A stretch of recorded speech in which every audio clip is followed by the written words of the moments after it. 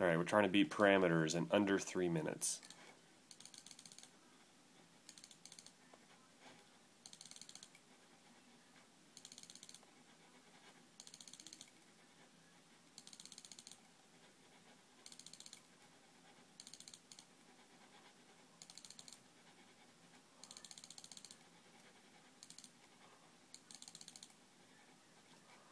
Plus 33.